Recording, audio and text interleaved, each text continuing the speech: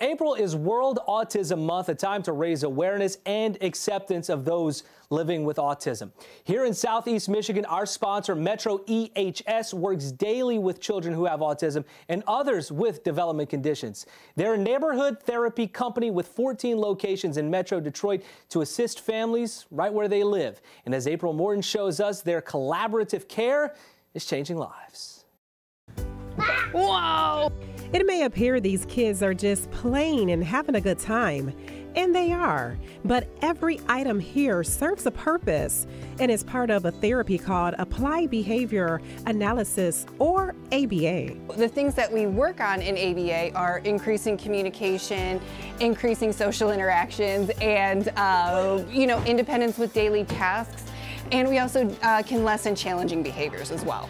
Deanna Coker is the director of ABA services for Metro EHS and says they use this play based form of therapy to enhance the lives of children with disabilities, such as autism, a disorder many have heard of but may not completely understand. Typically characterized by an impairment in communication and social interaction, and we often see um, repetitive and restrictive patterns of behavior as well. She says some of the early signs they see in kiddos are lack of eye contact, lack of facial expressions, lack of communication, and lack of interest in interaction. If your child is displaying not responding to their name, not showing facial expressions around that 12 to 15 month mark, that's going to be a red flag.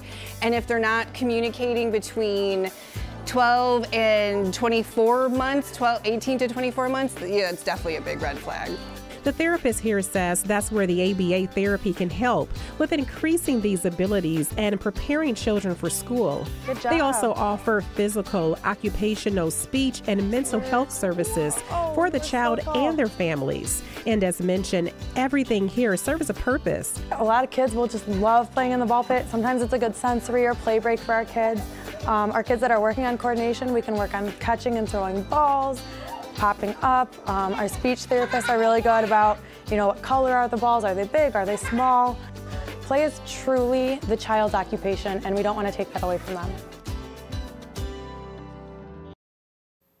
And one of the big things that makes this play approach unique is that kids are learning and developing in a different, natural way. Again, there are 14 Metro EHS locations in Metro Detroit and three more on the way. To find the location nearest you, so Metro EHS can help with ABA, speech, occupational, feeding, or physical therapies. Go to the website metroehs.com. Again, that's metroehs.com. And stay with us this month as we continue to show the different ways Metro EHS is helping families in neighborhoods everywhere.